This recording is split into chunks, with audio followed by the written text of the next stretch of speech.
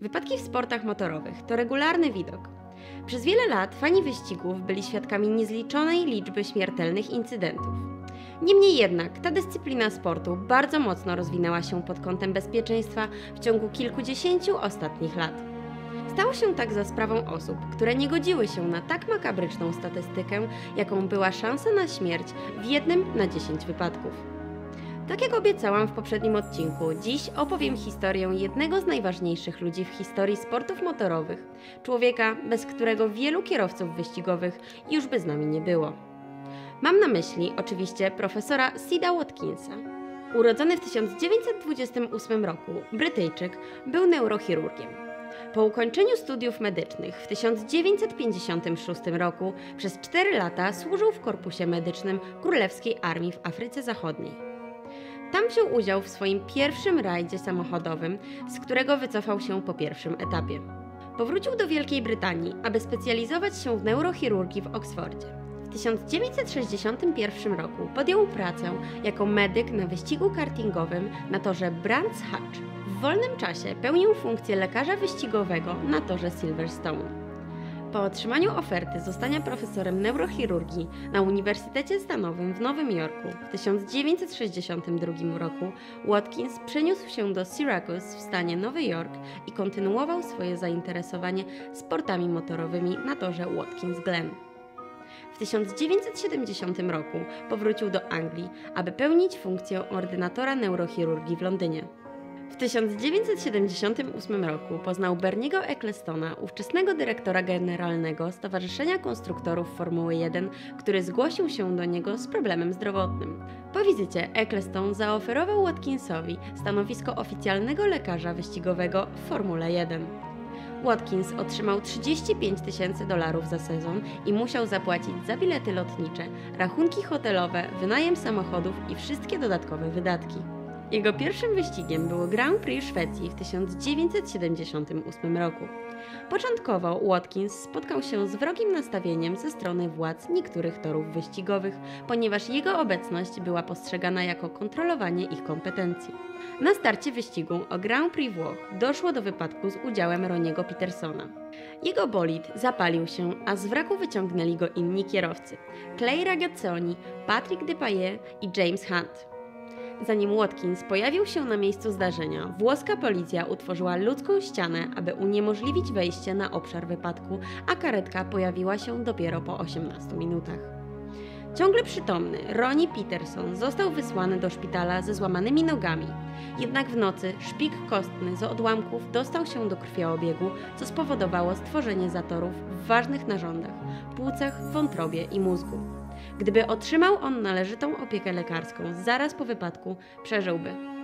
Po wyścigu Sid Watkins zażądał od Ecclestona lepszego wyposażenia, anestezjologa, samochodu medycznego oraz helikoptera. Wszystko zostało dostarczone na kolejny wyścig w USA. Ponadto Watkins zdecydował, że samochód medyczny z nim na fotelu pasażera będzie podążał za samochodami wyścigowymi na pierwszym okrążeniu, by zapewnić natychmiastową pomoc w przypadku incydentu na starcie. Organizatorzy wyścigu na Hockenheim odmówili Watkinsowi dostępu do kontroli wyścigu, więc Ecclestone zagroził, że stanie przed linią startu i rozkaże kierowcom opuścić pojazdy. W 1982 roku na Grand Prix Belgii Watkins pojechał na miejsce wypadku Gilles Villeneuve'a. Po udzieleniu Kanadyjczykowi pierwszej pomocy i przetransportowaniu go do szpitala, spotkał się z jego żoną, po czym podjęto decyzję o odłączeniu go od respiratora. Podczas wyścigu w Kanadzie tego samego roku miał do czynienia ze śmiertelnym wypadkiem Ricardo Palettiego na pierwszym okrążeniu wyścigu. Watkins dotarł na miejsce po 16 sekundach od zdarzenia. Po otwarciu wizjera kasku zobaczył rozszerzone źrenice kierowcy. Zanim jednak zdążył udzielić mu pomocy, bolid stanął w płomieniach. Watkins posiadał odpowiednie ubranie, ale jego buty stopiły się w ogniu. Paletti zmarł w wyniku obrażeń, których doznał podczas uderzenia. Trzy lata później Watkins otrzymał od kierowców Formuły 1 srebrne trofeum z napisem Profesorze, dziękujemy za nieoceniony wkład w rozwój Formuły 1.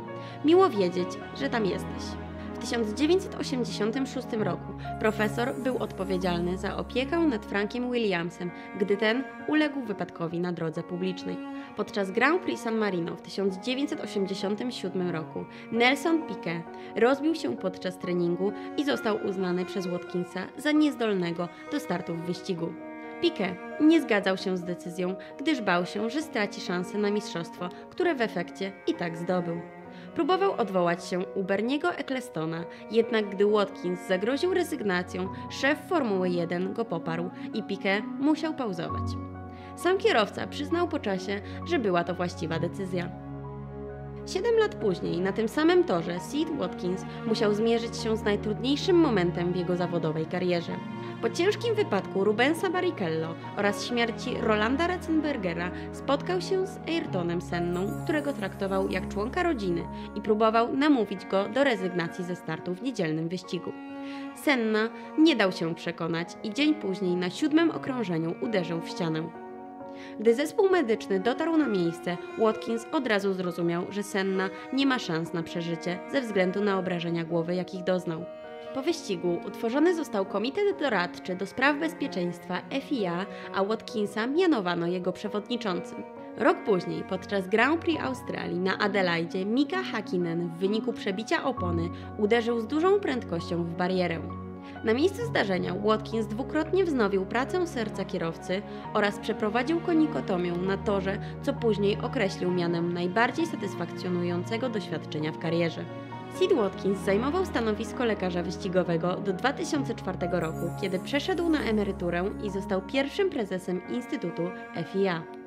Za swoje zasługi otrzymał wiele nagród, w tym Order Imperium Brytyjskiego, nagrodę imienia Mario Andrettiego czy Izby Lordów.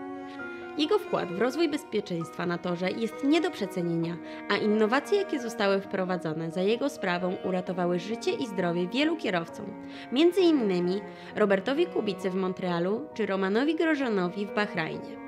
W przypadku tego pierwszego swoje zadanie spełniła budowa monokoku oraz system Hans, a w przypadku tego drugiego system Halo oraz błyskawiczna pomoc ze strony załogi samochodu medycznego, który pojawił się kilka sekund po uderzeniu. Profesor Sid Watkins zmarł 12 września 2012 roku w Londynie. Budynek noszący jego imię został otwarty przez księżniczkę Annę w Liverpoolu w 2015 roku. Jej królewska wysokość odsłoniła tablicę pamiątkową i popiersie Watkinsa na cześć jego zasług zarówno dla sportów motorowych, jak i neurochirurgii. To tyle na dziś, a w kolejnym odcinku opowiem o tym, jak wyglądały wypadki w wyścigach samochodowych, zanim ktoś taki jak Sid Watkins zaczął przejmować się bezpieczeństwem. Pamiętajcie zatem o łapce w górę i subskrybowaniu naszego kanału. Do zobaczenia!